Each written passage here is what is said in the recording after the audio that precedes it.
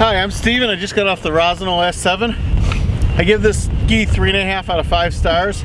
It was a little too wide and a little too uh, sluggish for me from turn to turn.